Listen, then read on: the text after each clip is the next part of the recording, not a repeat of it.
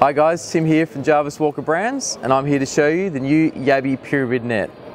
They feature a top entry design.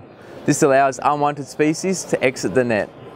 They come with 8 metres of 5mm rope and have a top secure locking design. This allows the net to fold flat for ease of transportation and storage. Before using this net, please check your local state and territory fishing regulations. For more information, check them out at jarviswalker.com.au.